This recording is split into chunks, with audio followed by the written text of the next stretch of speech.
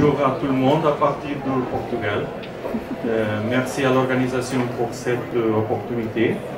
Et euh, excusez mon français s'il y a des choses que vous ne comprenez pas, je suis disponible à la fin pour donner des, explications. Bon, je vous présente un peu notre région. C'est la région Baixa, c'est une région de Portugal. Il y a autour de 1500 km euh, autour de 200 000 personnes et euh, il représente autour de 2% de la population portugaise. Bon, notre association est là euh, autour de 250 entreprises qui sont associées de tous les secteurs et on essaye maintenant de développer tout le secteur des plants, euh, des aromatiques euh, médicinels. Donc on a été l'année dernière ici la première fois, nous sommes très contents de revenir et hum, c'est pour ça qu'on est là pour aider à développer ce secteur au, Portugal.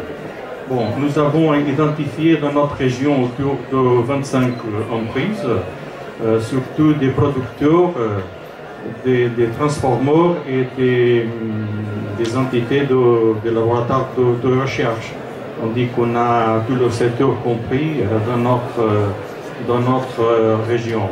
Bon, le secteur euh, des plants aromatiques médicinels, euh, on le sent qu'il a une croissance et une dynamique, euh, surtout euh, avec des, hum, des propriétaires jeunes qui sont arrivés à la campagne pour essayer de développer euh, de nouvelles productions. Donc il est surtout divisé en deux segments, au segment de, de, de les surtout pour la con- consommation frais et hum, surtout en, méthode conventionnelle, et euh, les aromatiques euh, médicinales pour sécher, euh, surtout en production euh, biologique. Bon, en tout le cas, ce qui domine sont les emprises, les petites emprises de capital intensif et de travaux euh, aussi euh, intensifs.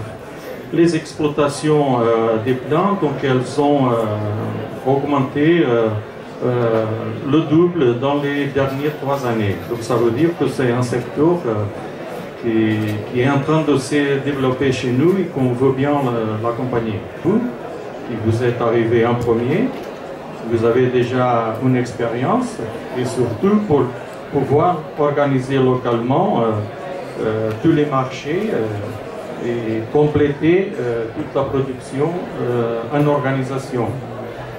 Et aussi, qu'est-ce que nous pouvons vous offrir Bon, on peut vous offrir une, une organisation euh, bien organisée et jeune, mais qui a la volonté d'apprendre.